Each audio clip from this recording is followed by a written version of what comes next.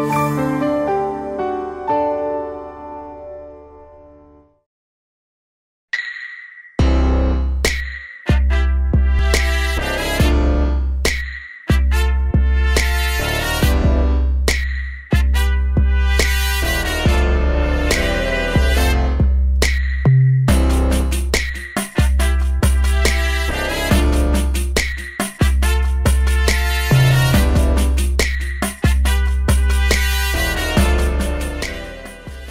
and welcome to this episode of HBCYou.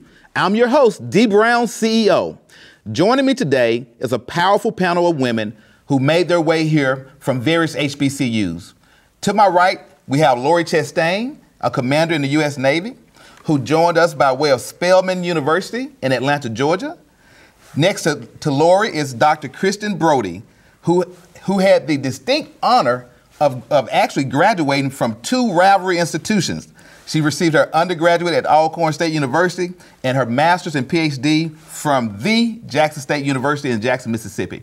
And joining me on remote is Monica Barnes, who made her way here from the Jackson State University, where she earned a master's degree as well. Ladies, welcome to HBCYou. I'm so glad to have you.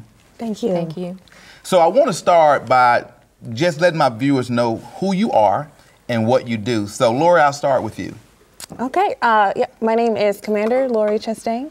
Um, as you mentioned, I'm a commander in the United States Navy, and I currently work at the Pentagon. Dr. Broady. Kristen Broady. I am the director of the Economic Mobility Project at the Federal Reserve Bank of Chicago, senior economist and economic advisor, and I'm also a lecturer at Spelman. Great. Monica.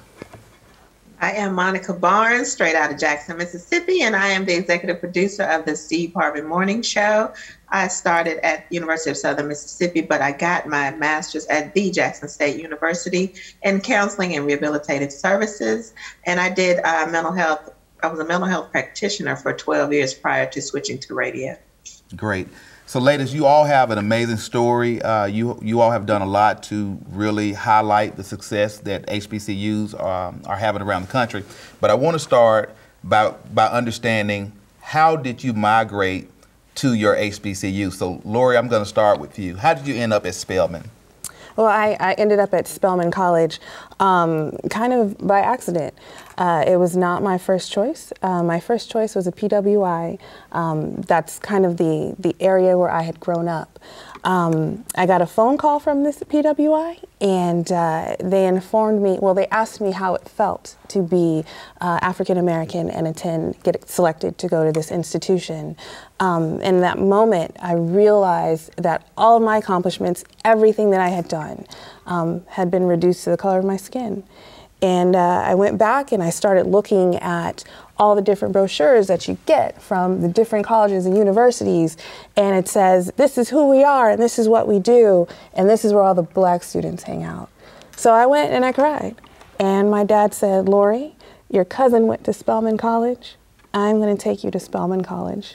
And he took me to Spelman College, you know, and the rest is history. Now, now, Dr. Broady, um, as I stated in the opening, you have the distinct honor of being on both sides of one of the biggest rivalries in the state of Mississippi. And so I want to understand how did you, one, migrate to Alcorn State University, and then what led to the transition over to the wild side of the Jackson State University?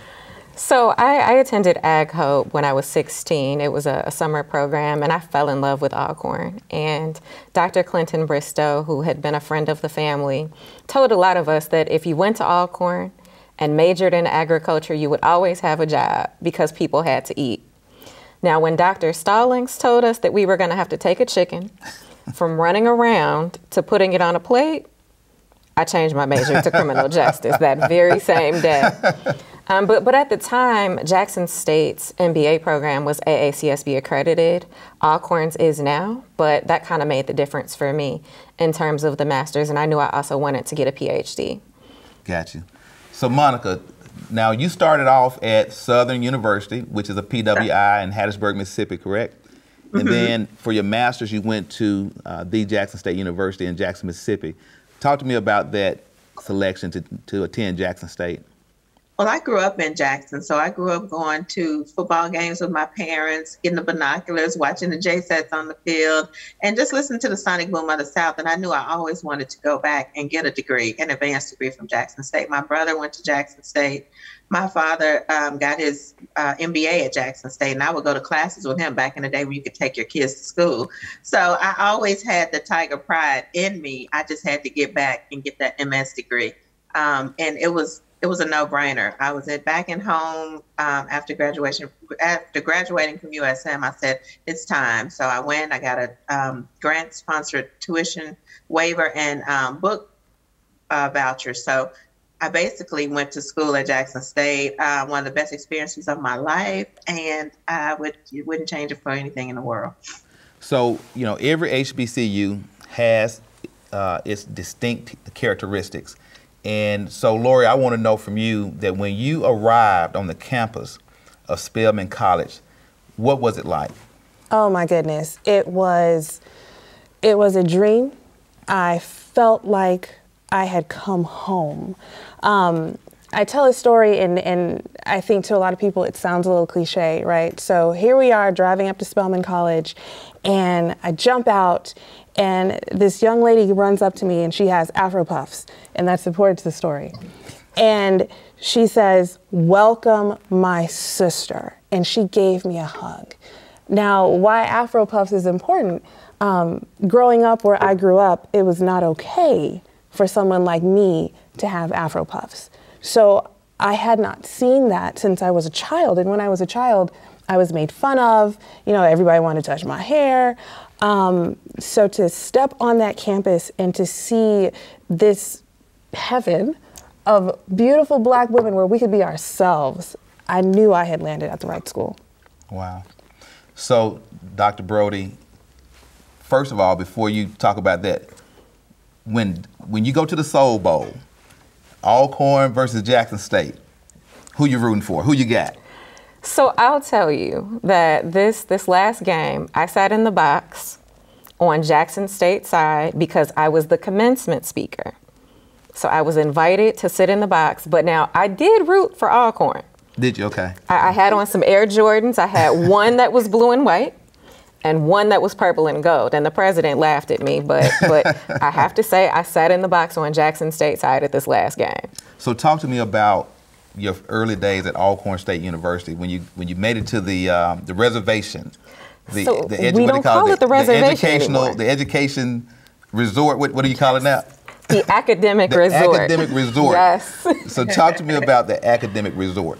So I remember getting there um, and studying beneath the shade of giant trees, fanned by a balmy southern breeze, where the air is just a little bit cleaner and sweeter, and the water is just a little bit clearer. And it was the most amazing experience that I've ever had in my life. So, who have the best homecoming?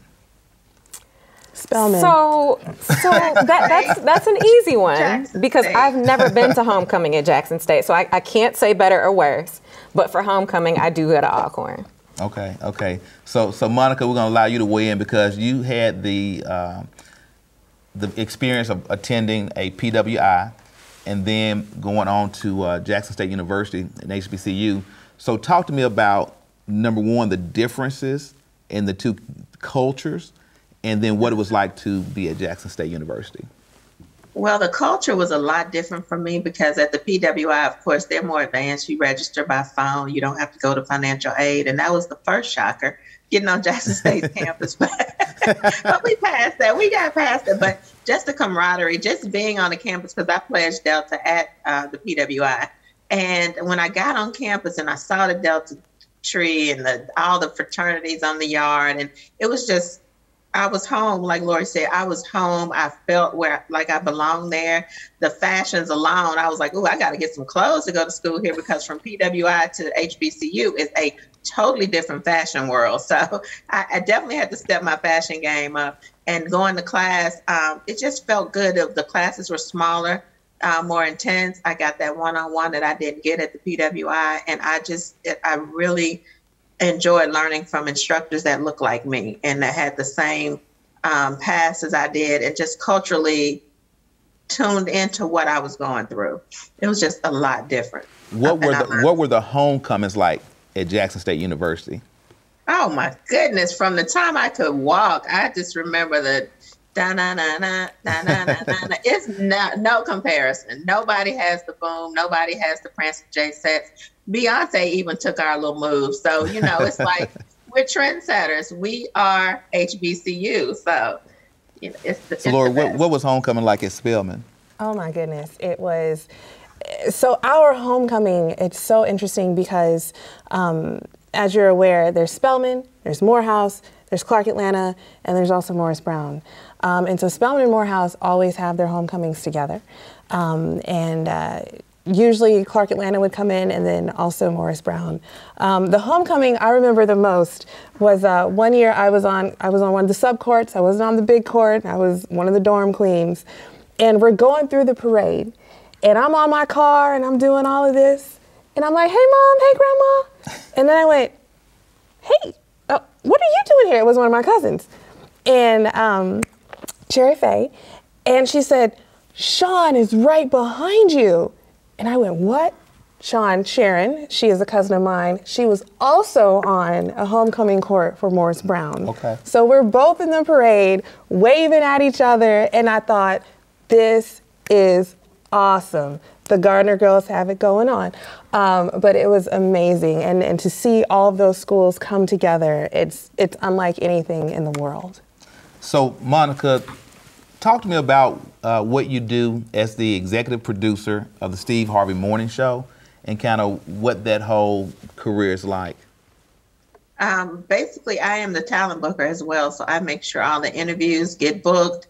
I do the talking points, uh, talk, converse with the publicists, and that kind of thing. Anything that's going on, I make sure it gets into copy. Um, I do write show copy for the team so they'll know what's going on because my boss is very busy, so he doesn't get to be up on pop culture and what's going on in TV and what we're watching on Netflix this week. So I pull in public interest stories, um, entertainment news, and that kind of thing. So they have show content.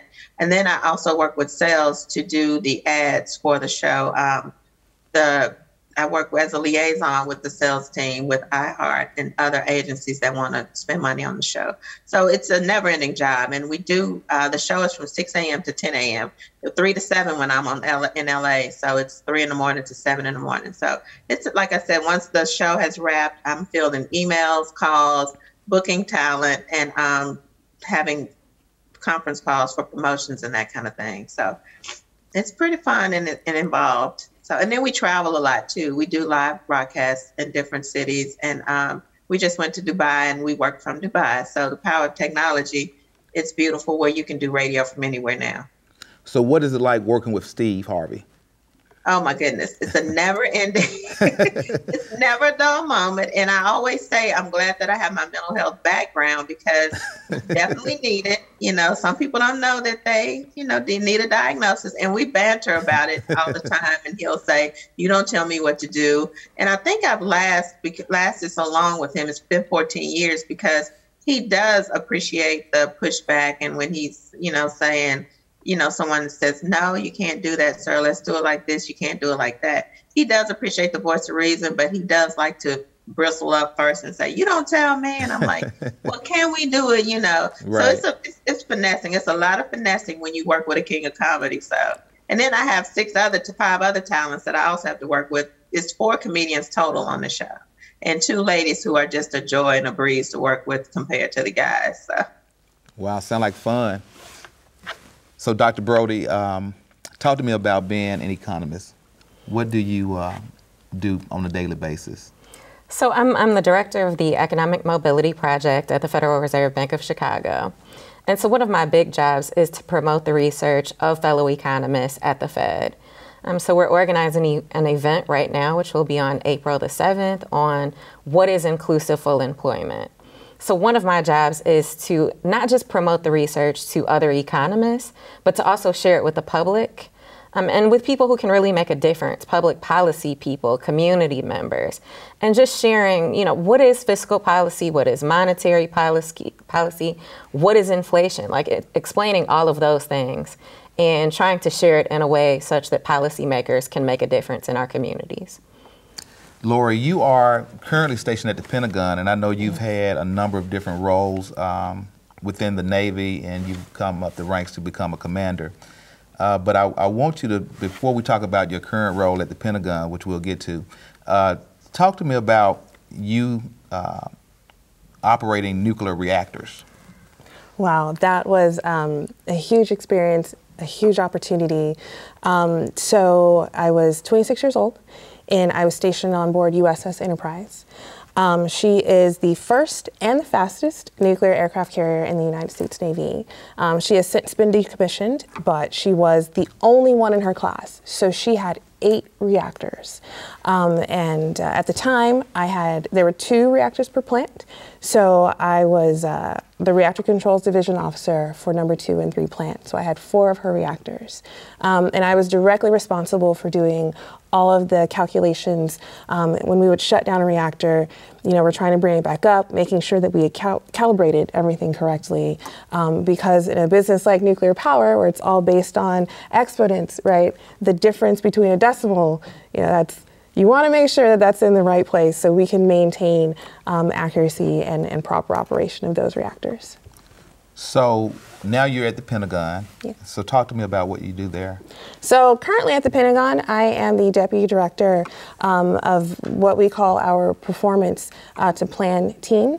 Um, it's very interesting in that it is uh, it's very unique. So myself and my direct boss, um, we are the only military members of that team. We have a group of government contractors, uh, and what we do is we go in and we look for inefficiencies um, in how the Navy writ large operates. So we're looking to pull these different levers so we operate more efficiently um, and make changes to uh, our operations and hopefully help out our budget um, while we're doing that. So all of you being uh, ladies that are performing at a really high level, I'm sure all of you all have run into uh, obstacles and challenges along the way. So talk to me a little bit, Monica, about diversity, equity, and inclusion and your stance on that and some of the challenges you've had in your career. Well, working for a nationally syndicated radio show, there aren't many people that look like me, and there are very few. Well, I, I think it's like two or three females that do this on a syndicated level. So um, that in itself, with the equal pay and that kind of thing, it's constantly a struggle, and you know that your counterparts are doing a little better than you financially, but you still, you know, push forward, move forward, and you get your little annual increase, and you're like, okay you know, and then you say, well, I need this to move to LA. And then they say, okay, we'll give you this, we'll give you that. So that's a constant struggle with the financial financial end of it. And then too, even to enter the room with men and I was once told, "Oh, so you got both your degrees in Mississippi?" You know, because we're we're seen as subpar in education and other things. So that struggle in itself. And then, as you can hear, I have a very southern drawl. I left Mississippi in '96.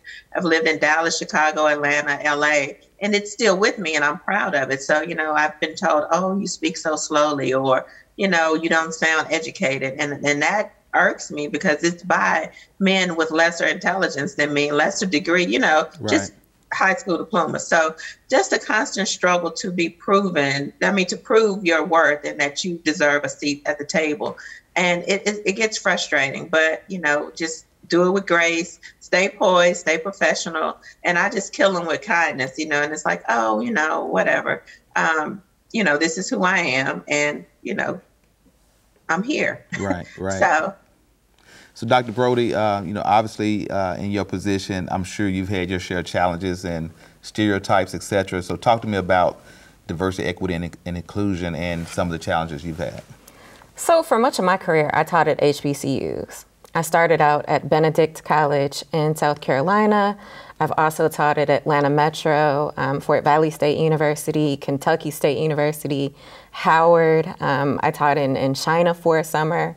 Um, and, and, from there, I went on to the Brookings Institution, and from there to the Chicago Fed, where I am now. Um, and I guess I really haven't experienced racism as much, but homophobia. Um, I, I, really couldn't come out until I got tenure. It just wasn't comfortable, right? Yeah. Because many HBCUs have um, some sort of LGBT club or acceptance for students, and they say they do for faculty, but not so much. And so it's like you have to be careful. Um, at, at, some places, not all, and I'm not naming any names, But at some places, you have to be careful um, being who you are before you get tenure. Yeah. And so once I got tenure the first time at 38, um, that was it for me. Like I, I, decided to just be who I was. But that was that was my biggest issue. There aren't many black female economists.